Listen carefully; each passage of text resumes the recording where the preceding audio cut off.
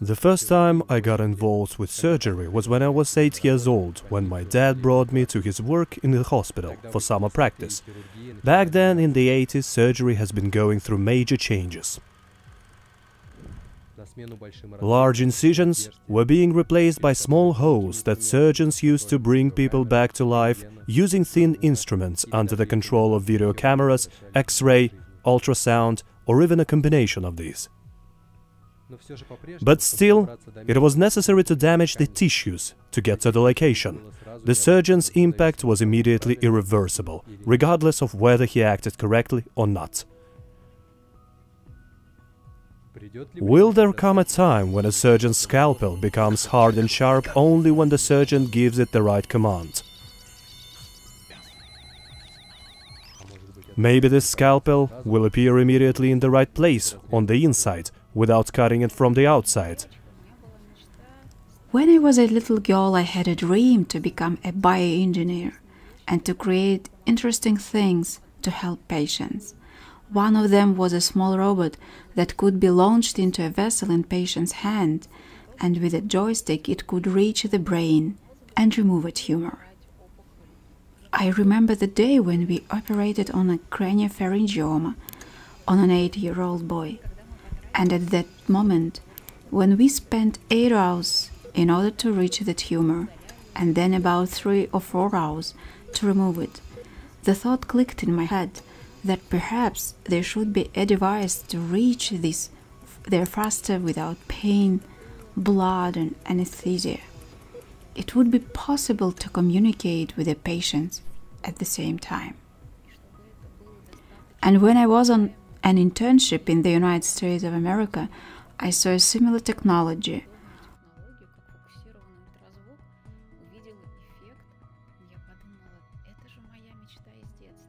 I thought it was my childhood dream.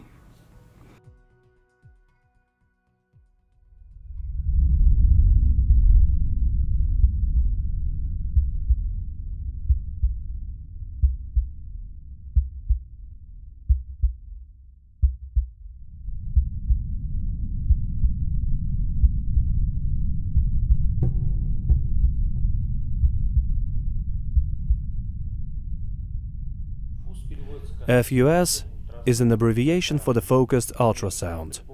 When we use multiple sources of ultrasound and focus them on a single point using special equipment, we get a concentration of powerful energy in one tiny, tiny point. We use this energy to heat it. We heat it to a certain temperature.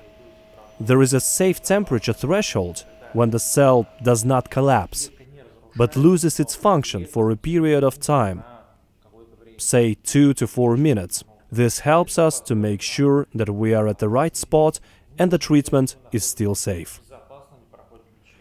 The cell can be heated to a therapeutic temperature when protein denaturation occurs. There are several components in this device that I have thought about for many years, and then I made a decision for myself that personal dreams must come true. The path from the beginning to the first operation may take about two years or even more. From 2018 to 2020, we worked hard to bring this idea to life and get the necessary equipment. This is a business project, an investment project. This is a search for investors, the search for funding, search for location, the search for suppliers. This is a design project of the chosen location. You can see it all behind my back. I mean, it's a huge work when you do not count hours. You just work and feel like you need to take just one little step, a little step, and then it all will work out.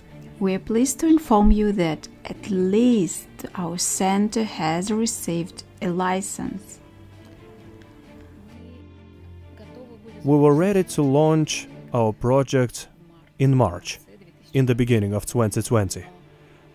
But suddenly, the unexpected happened. COVID-19 pandemic. An emergency of an international level. The World Health Organization is ready to convene an extraordinary meeting of the Emergency Committee. It has been established that the causative agent of viral pneumonia of unknown origin in Wuhan is a new coronavirus. And now is the time to put it on. If it was previously believed that the virus is not transmitted from person to person, now it has been officially announced that it is. As of today, Russia has temporarily closed the border to contain the spread of the virus. The border is open for entry only for those of our citizens who are evacuated from different countries, according to the lists of the Ministry of Foreign Affairs. Nobody knew how long we would be under the lockdown. How long will it last? And will there be an end to this plight? There were about 20 patients on our list that we started working with the previous year. Each of these patients was looking forward to our opening. The quarantine could not stop us. UFA cardiac surgeons, together with a professor from Italy, performed online heart surgery. Fortunately for us, at the Republican Cardiology Center, Professor Igor Buzaev performed a joint operation with Professor Eustachio Onorato from Italy. A unique team of doctors is standing at the operating table cardio and x ray surgeons, engineers, hybrid imaging specialists. Professor Eustachio Onorato from Italy remotely advises Russian colleagues via the video call. The operation was a success. The patient survived, and the whole affair received a huge response in the media. They were talking about it on every TV channel.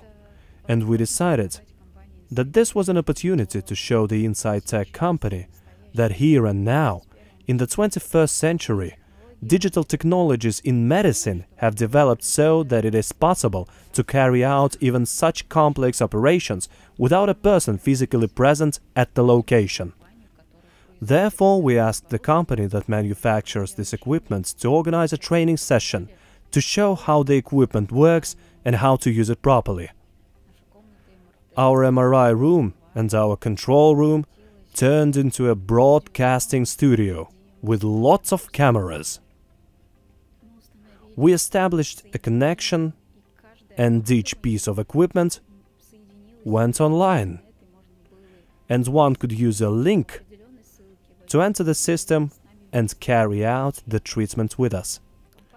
After a bit of consideration, the company decided to support us, conducted training and taught us to operate on phantoms, and after about 20 or 30 successful surgeries on phantoms, none of which was injured, we sent a letter to the company again and requested an attempt to conduct therapy for the first live patient. After a while, we received a positive response, and on May 5, 2020, we performed an operation on our first patient.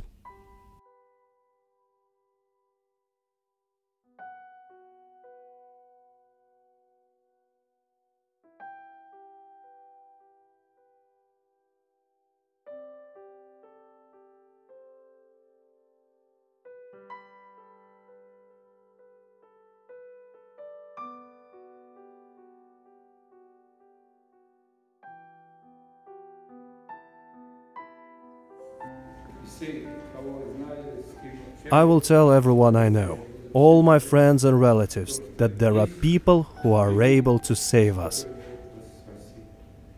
Thank you so much. To all of you.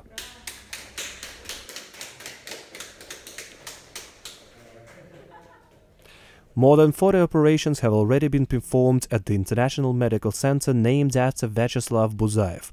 This is an experience of more than 40 happy patients who got rid of tremors. Thanks to the work of ambitious people, the time has come when operations can be done without a single incision, without pain, and with a guarantee of highest quality. MRI guided focused ultrasound treatment is like a soft scalpel that appears inside and becomes sharp only when the surgeon knows exactly that the procedure goes according to the plan and the team of the center is already looking to conquer new frontiers of modern, non invasive surgery.